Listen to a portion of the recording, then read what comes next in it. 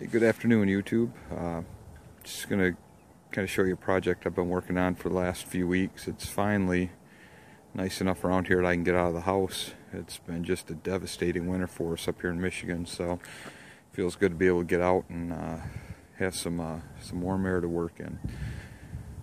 I did get one of the uh, Harbor Freight uh, 45 watt solar kits. Came with those three panels there. I had the existing panel there on the right hand side it's also a 15 watt panel, so uh, going into the house uh, now I've got 60 watts of solar going in.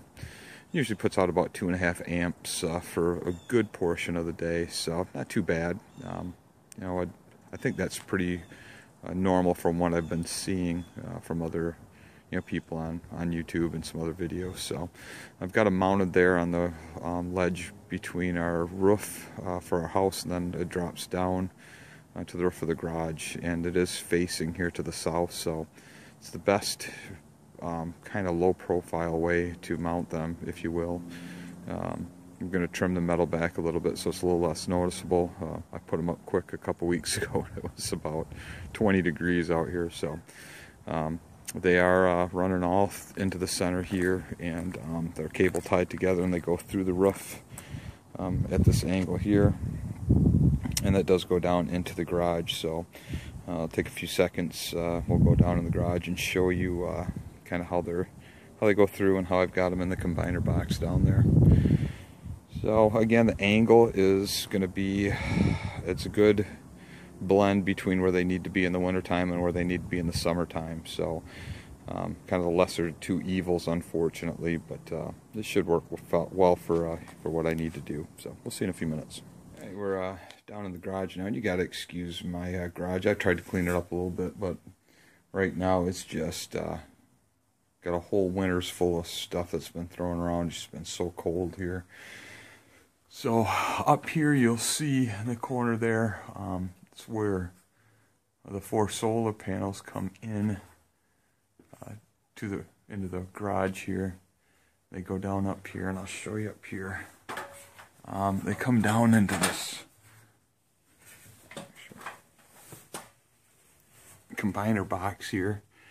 Um, so all four come down here into the combiner box and they come out with a just one strand of, uh, I shouldn't say one strand, come out to one, two wires that are 12 gauge wires that go down and then they enter into the basement down around there. So that's kind of the combiner box. I've got here obviously all the positives coming together and then all the negatives coming together tied off with some wire nuts. We'll put the panel on, or the cover on there, but just want to show everybody what that looks like. Just anywhere you'd see anywhere else, I'm sure. And I'm going to skip the part right now. I'm going to go down the basement uh, later. Um, but the wires running down through here, and those go into um, the charge controller downstairs. Um, they come back out of the charge controller out here into this battery bank. And I know you've seen my um, uh, golf cart batteries that I've got, and they just finally, they finally kicked the bucket. So I'm just running two deep cells here. Um, got them um, in parallel together, so they're at 12 volts. Um, and then I've got another bank of two batteries here that uh, is actually connected to an uninterruptible power supply downstairs. Um, that my cable modem and my router are hooked to so that's supplying um, uh, this is the negative here negative and positive. Um, supplying uh, 13 volts to this battery constantly to keep them floated. And then if we lose power obviously these will run my cable modem and my uh, router downstairs so kind of way that is uh, hooked up and then the batteries both banks run out and that's uh, I drilled holes in the wall so more cleanup I got to do but they go out um, there and uh, go into the basement and we'll uh, we'll continue down there in a little while. Alright so I thought I'd uh, shoot uh, kind of the third part of the solar video.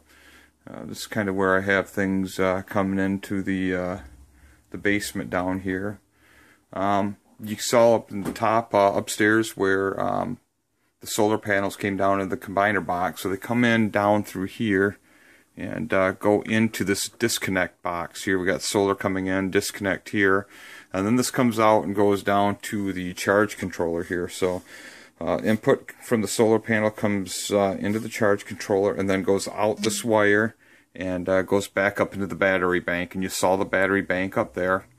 And then the wires came out. Um, they come in down side here. And then they go into here. We've got a fuse in here and we've got a, a 40 amp fuse up here. So they come in through the from the batteries to the fuse and they go into this combiner box here. So the batteries come in and then we can either run over here into the radios where we can run all um, of my amateur radio equipment down here on battery power backup if we need to or then um, it can also come down uh, to um, this inverter here. So if we turn that on uh, you know we can run our inverter down here also. So that's kind of how the simple solar setup is, is run here at home. Uh, I don't pull a lot of amperage at this time, so the wiring uh, size is not a big a deal for me right now. Um, everything is set in there, so I can change it up if I want to add, uh, you know, larger gauge wire uh, eventually, and I may may do that. Uh, but um, you know, I get about two and a half amps of uh, of solar in for a good portion of the day, so it's enough to keep my battery bank out there floated. You know, if I need to run some some um, you know, lighting or, you know, if we lose power, I need to run some things down here on my computer and monitors. I did test my computer underneath the desk there and my three monitors along with my router uh, and my cable box with everything on and running at a decent capacity. I'm only pulling about two and a half amps. So that's not too bad with everything running down here. So, um, you know, I'm trying to do some figuring, and, and I would not be able to, even if I used my monitors about four hours a day and left the computer running like I do um, constantly, um, I, I still would deplete my battery over a while. So I don't have quite enough solar to keep uh, this room running down here, but uh, you know maybe we could make some tweaks and, and get things going a little bit better. But uh, just wanted to throw that out there, and uh, hey, if I do any other uh, um, upgrades, I'll be sure to let everyone know.